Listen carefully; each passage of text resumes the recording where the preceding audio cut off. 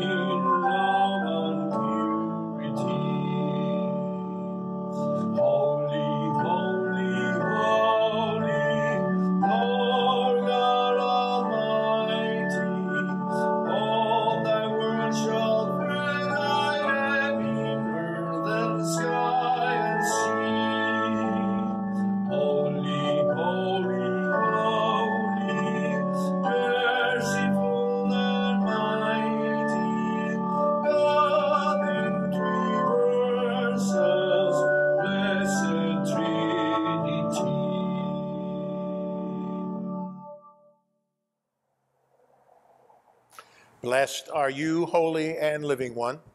You come to your people and set them free.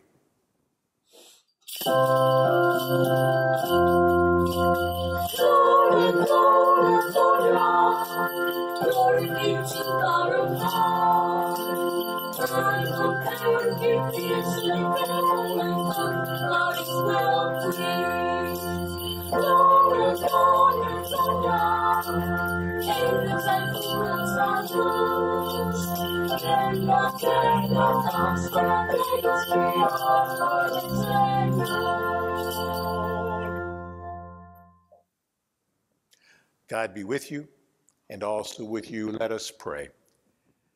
Set us free, O God, from the bondage of our sins, and give us the liberty of that abundant life which you have made known to us in your Son, our Savior, Jesus Christ, who lives and reigns with you in the unity of the Holy Spirit, one God, now and forever.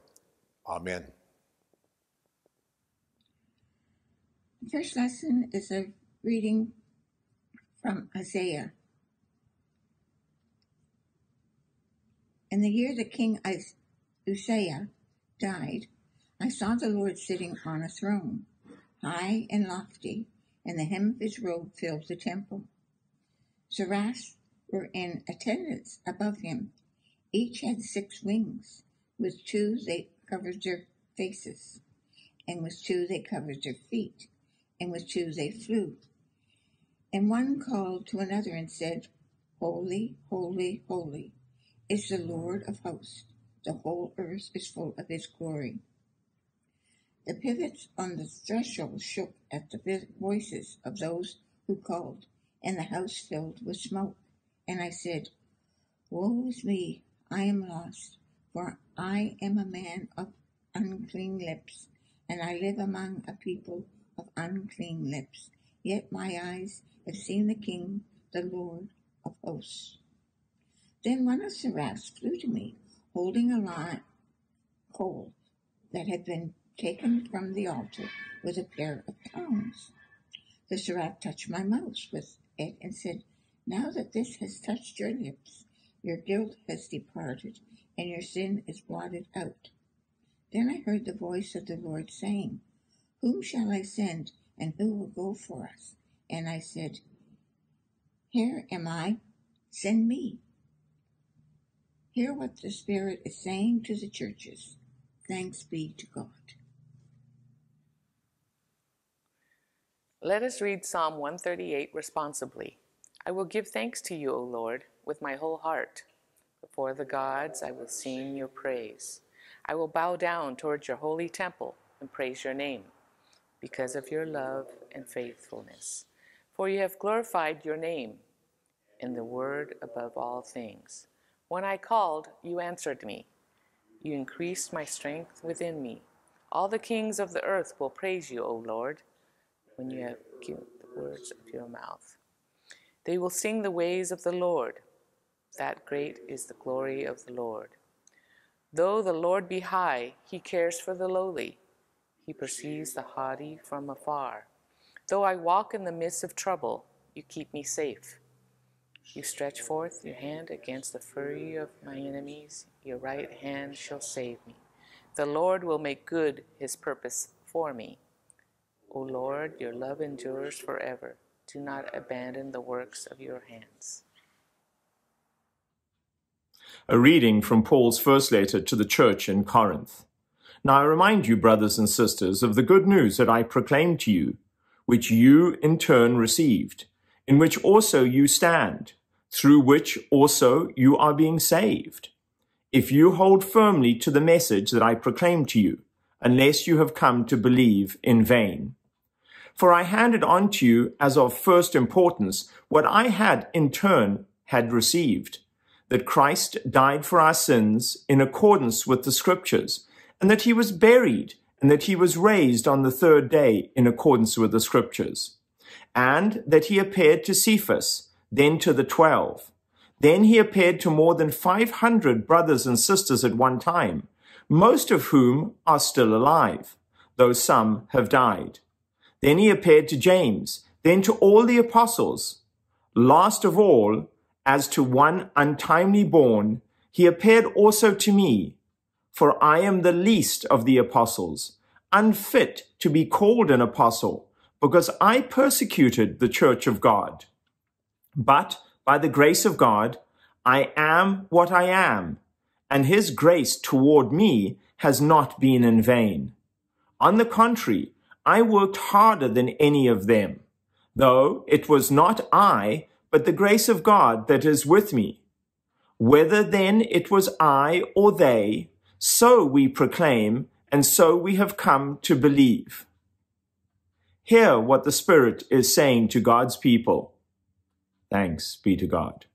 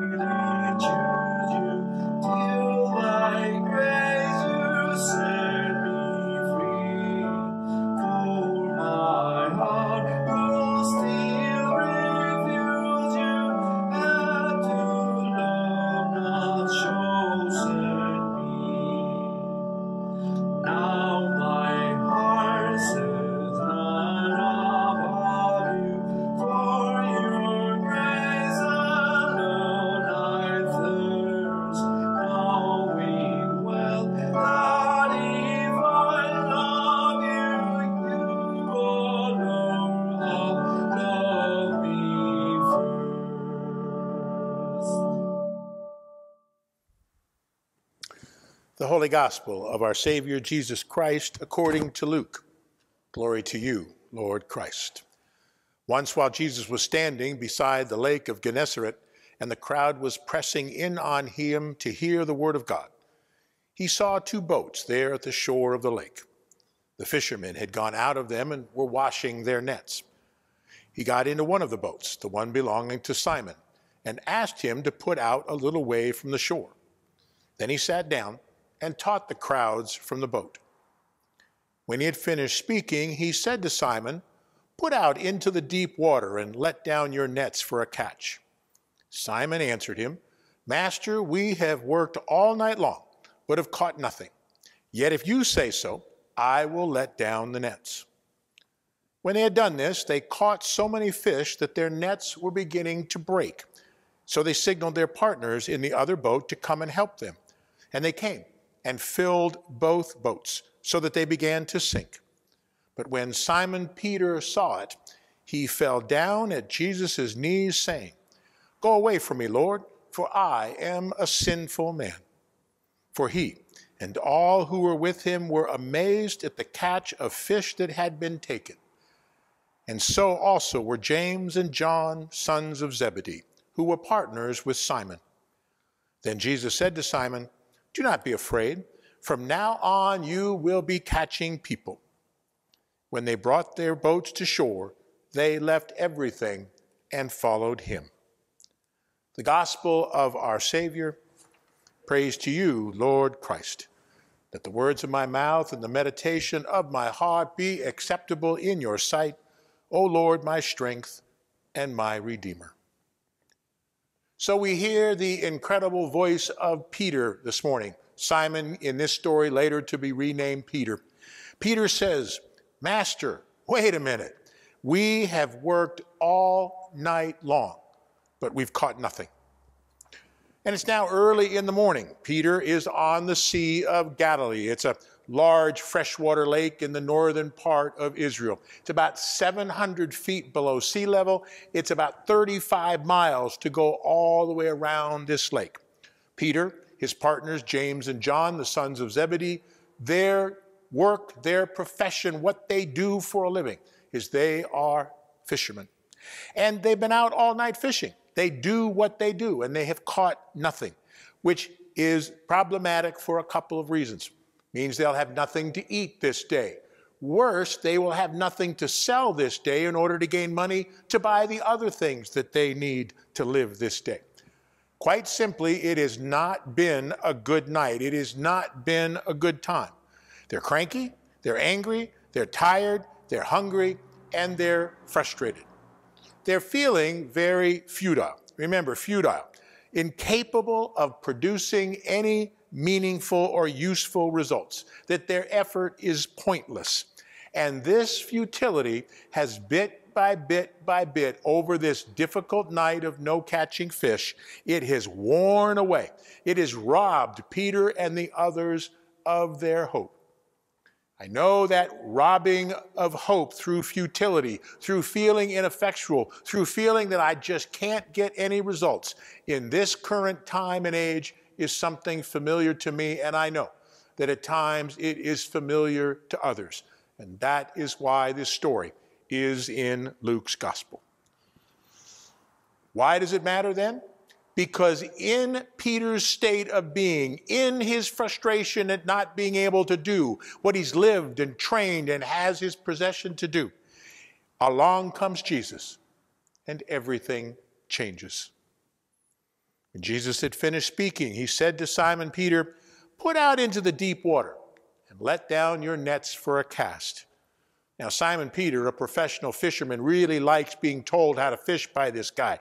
And he answers, Master, being respectful, we've worked all night long and have caught nothing. And you can kind of see the roll of the eye. Yet, if you say so, I'll let down the nets. And then the miracle. When they had done this, they caught so many fish that their nets were beginning to break. So they signaled for their partners in the other boat to come and help them. And then what happened was is that both boats became so filled with a wondrous catching of fish that they began to sink. And this in Luke's gospel is the miracle, wondrous catch of fish. Why? All because Jesus said, Put out into the deep and let down your nets.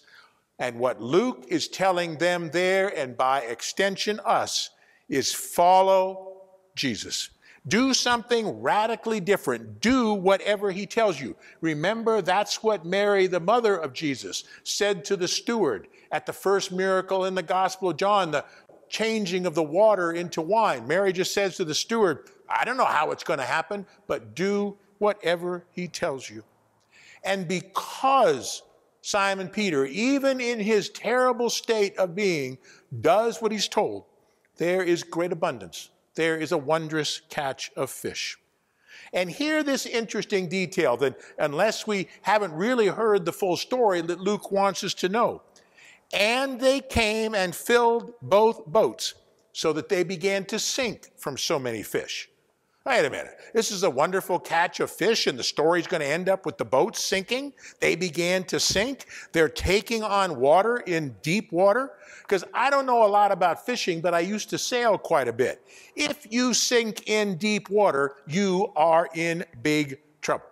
And for these fishermen, the boat was their primary tool of trade. It was the economic engine that provided for their lives. They needed those boats. They needed to earn a living. They needed to stay alive. But we're going to find a different end to this story. At the end of the story, we're told that they do make it back to shore. At the end of the story, we're told that Peter, either overcome by this miracle or overcome by the fact that the boat didn't sink, he falls on his knees in front of Jesus and proclaims, Go away from me, Lord. The messianic title for God. Go away from me because you are holy, you are God, you are mighty, you are wonderful, and I am everything that is not. Go away from me, for I am a sinful man. No great discipline, no great rebuke, no great criticism from Jesus, but rather these incredible words Don't be afraid, now or evermore. Don't be afraid. For from now on, you have a new job, and your job will be to catch people for me and for the reign of heaven. And then we're told remarkably, when they had brought their boats to shore, they left everything and followed him. Without a second thought, without packing a bag, without taking anything with them, they simply left everything, Luke wants us to know, and followed Jesus. These fishermen, Peter and his companions, that began this story cranky, hungry, angry, and frustrated, futile, almost hopeless. They don't believe there are any fish to be caught, and they certainly don't believe that they have the ability to catch them. Jesus simply says, Put out into deep water, let down your nets for the catch, and everything changes. And by the end of this short encounter, this story that Luke tells us, these shame-faced group of failing fishermen, they're now courageous new evangelists. And remember, evangelist just comes from the Greek word evangelion, good news. So these guys have signed on to follow Jesus to bring the good news to everybody. They have become Christ followers. And this road from failure as a fisherman to evangelist, good news bringer, is really short and very simple. It simply required them to say yes to Jesus. Because what this story revealed for them as fishermen, and they knew fish, and what this story revealed to the people who Luke is preaching to and who they're reading the gospel to, and who Luke is telling us today, this morning, is this story reveals the miraculous power of Jesus the Christ. That this power is available to Christ followers. That's what Luke wants us to know. That's the miracle. On this Sea of Galilee 2,000 years ago, it was made available to these fishermen. And we have to remember, because Paul tells us so, that Scripture is not just history. It's not just a recording of facts so we can go, oh, that's a nice story. But remember what Paul says in Romans. Paul tells the church in Rome, I'm not ashamed of the gospel, he says. Why? Because it is the power of God that brings salvation to everyone who believes. That's what the Word of God is. That's what the power of God is. And this power then and now is present and real to us today, now. How do I know that? Well, we heard the Word of God. We didn't just hear a historical reading of something that happened, but we heard about the power of Jesus the Christ now. Jesus speaks to us today in that word. We also will know the power of the Christ because we, in a moment, will eat of the bread and wine of this table that we believe through the power of the Holy Spirit becomes for us the body and blood of Christ. Now, some of you know that before I felt a call to enter ministry, I was pre med. As pre med, I was working at Santa Monica Hospital Medical Center, and in the medical profession there, as someone who is being trained up by them, the mantra was see one, do one, teach one. And this is what these evangelists are doing.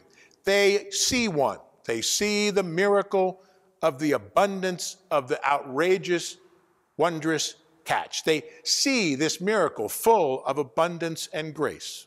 They then leave everything to follow Jesus. They immediately reorder their entire lives with Jesus at the center of everything they now decide to do. And they give up their fears and they trust in God. And then they will go forward, and we will be told as we continue to read in Luke and Acts that these Christ followers, these evangelion people, they will do miracles as well. And then they will use those moments to teach others about the love of God in Jesus the Christ. So today, as we hear this story in our telling, we remember the power of God. We remember that power comes to us by God. It comes to us in at least three ways. One, in the very fact that we are created in the image of God, the imago Dei. That's where the power of God begins in us. It comes to us as Christ followers in our baptism, where we are anointed by the power of the Holy Spirit, sealed as Christ's own forever, and given a ministry, a job to do to go and tell others about Jesus. And we are filled and given this power of God in the bread and wine, the body and blood of the Holy Eucharist. And this power can, will, and does come to us each and every day. We can be assured that it'll come to us in our joy and in our pain. We can be assured that it will come to us in our struggles and our successes. It will come to us when we feel hopeless, and it will come to us when we feel hopeful. Simply put, what Luke wants us to know in this story and through the power of God in Christ, that this power allows us to become the people that God created us to be. Listen again to the call of Jesus the Christ. Go ahead, Mark. Put out into the deep water. Let down your nets for a catch. From now on, don't worry. Don't be afraid. You'll be catching people. To me, to you, and to all of us. God's power is in us.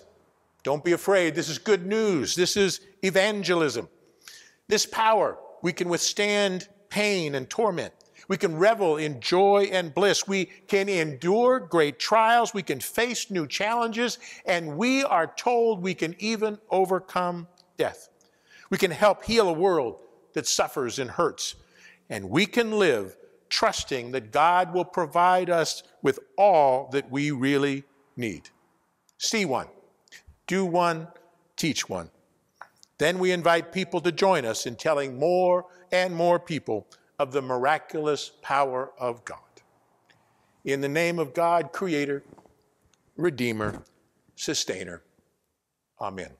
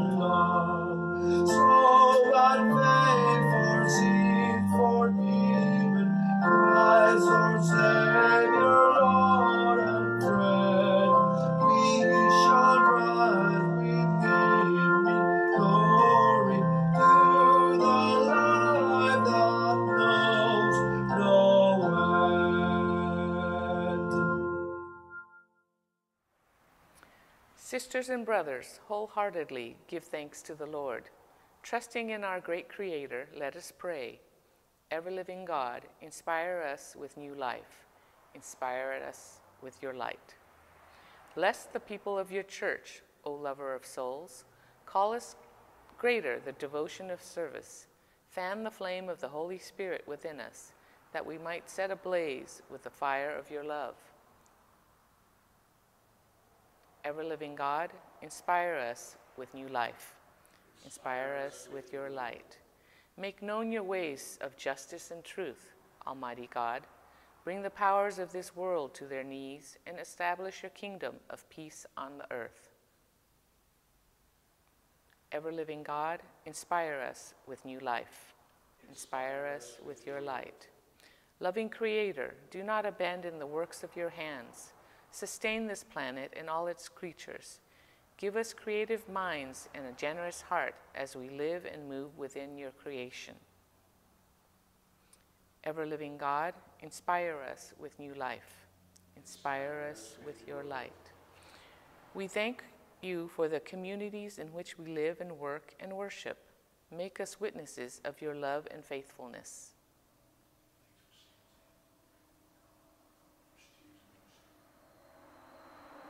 Ever living God, inspire us with new life. Inspire us with your light. O Lord, you care for the lowly. You hear our cries for mercy. You increase the strength of our weak. We offer your prayers for those in need of your healing and your grace.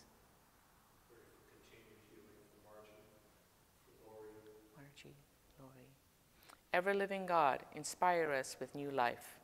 Inspire us with your light. Gracious God, your love endures forever, and so we pray for those who have died, trusting them in your everlasting care.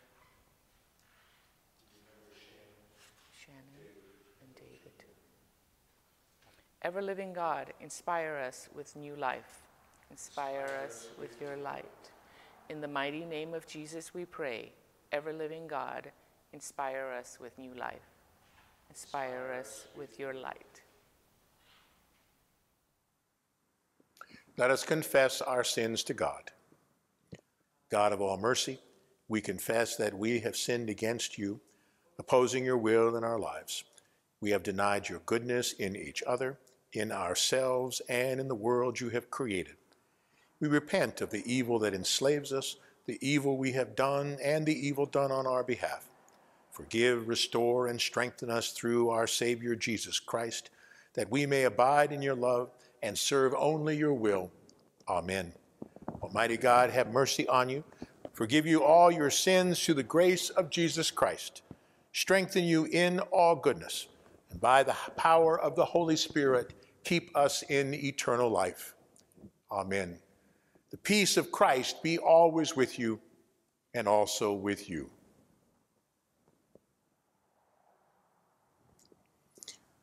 Walk in love as Christ loved us and gave himself for us an offering and sacrifice to God. God be with you and also with you. Lift up your hearts. We lift them to God. Let us give thanks to our God.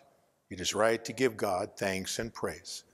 All thanks and praise are yours at all times and in all places, our true and loving God, through Jesus Christ, your eternal Word, the wisdom from on high by whom you created all things you laid the foundations of the world and enclosed the sea when it burst out from the womb.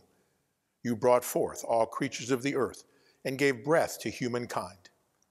Wondrous are you, Holy One of blessing. All you create is a sign of hope for our journey. And so, as the morning stars sing your praises, we join the heavenly beings and all creation as we shout with joy. santos, santos, santos, santos,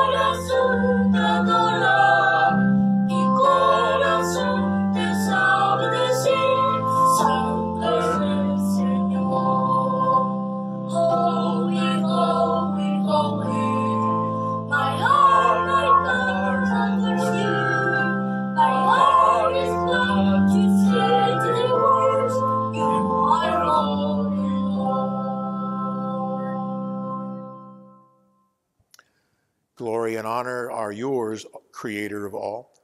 Your word has never been silent. You called a people to yourself as a light to the nations. You delivered them from bondage and led them to a land of promise. Of your grace, you gave Jesus to be human, to share our life, to proclaim the coming of your holy reign, and give himself for us a fragrant offering. Through Jesus Christ, our Redeemer, you have freed us from sin, brought us into your life, reconciled us to you, and restored us to the glory you intend for us.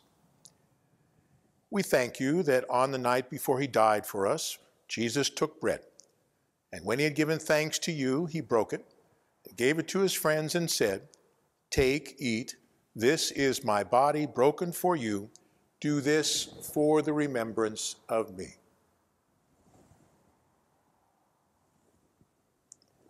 After supper, he took the cup of wine, said the blessing, gave it to his friends, and said, Drink this, all of you. This cup is the new covenant in my blood, poured out for you and for all, for the forgiveness of sins. Do this for the remembrance of me.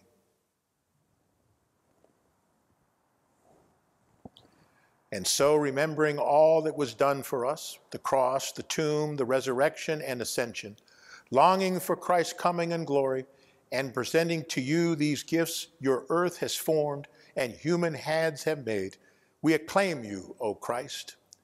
Dying, you destroyed our death. Rising, you restored our life. Christ Jesus, come in glory. Send your Holy Spirit upon us and upon these gifts of bread and wine, that they may be to us the body and blood of your Christ. Grant that we, burning with your Spirit's power, may be a people of hope, justice, and love. Giver of life, draw us together in the body of Christ, and in the fullness of time, gather us with blessed Mary Magdalene and all your people into the joy of our true eternal home. Through Christ, and with Christ, and in Christ, by the inspiration of your Holy Spirit, we worship you, our God and Creator, in voices of unending praise. Blessed are you now and forever. Amen. As our Savior Christ has taught us, we now pray in our chosen language and voice. Our Father in heaven, hallowed be your name. Your kingdom come, your will be done on earth as in heaven.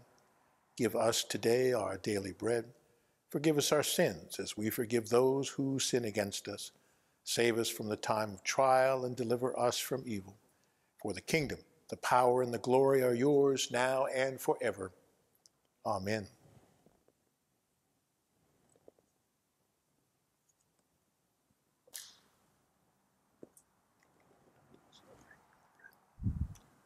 The disciples knew the Lord Jesus in the breaking of the bread. The bread which we break, alleluia, is the communion of the body of Christ. One body are we, alleluia, for though many, we share one bread. The gifts of God for the people of God.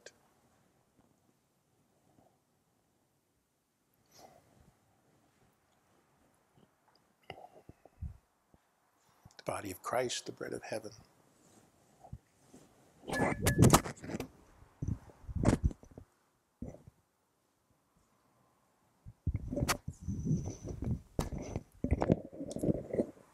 The body of Christ, the bread of heaven. Amen. The blood of Christ, the cup of salvation.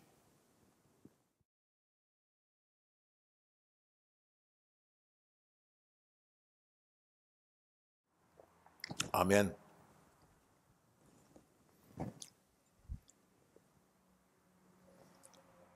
Let us pray. God of abundance, you have fed us with the bread of life and the cup of salvation. You have united us with Christ and one another, and you have made us one with all your people in heaven and on earth. Now send us forth in the power of your Spirit, that we may proclaim your redeeming love to the world and continue forever in the risen life of Christ our Savior. Amen. Live without fear. Your Creator has made you holy, has always protected you, and loves you as a mother.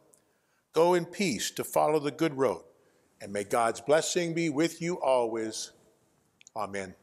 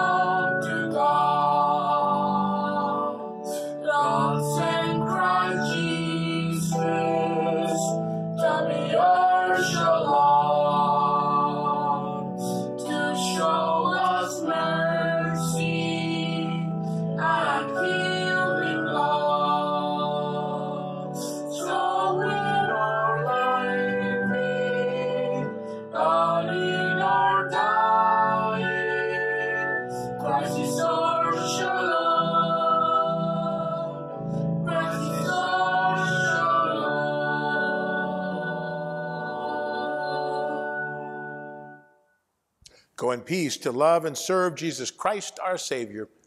Thanks be to God. Have a wonderful and blessed week. Again, it was great to have you worshiping with us. Be assured of God's blessings on your life. Amen.